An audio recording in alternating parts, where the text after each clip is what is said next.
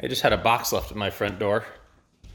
I think I know what it is, but let's have a look and see if it's what I think it is.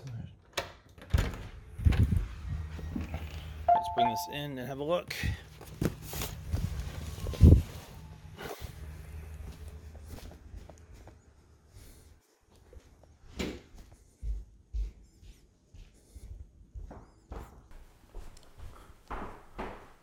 All right, so I got this box. You want to zoom in some so you can see me a little better maybe? There we go. Come on in here. Got this box and let me show you the label on it. I think there's a bunch of stuff in here.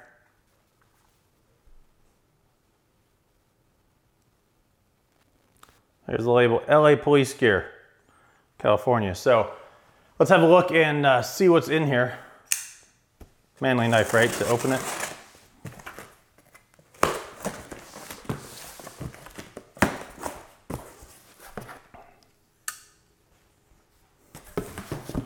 All right, so backpacks, pants, jacket, some belts. Um, I'm not sure what this is, but I'm sure it's super cool. Some shirts. Bunch of stuff in here. So point being, um, I got some LA police gear stuff and uh, some glasses. And so I'm gonna be doing some reviews on a little bit more LA police gear stuff than usual.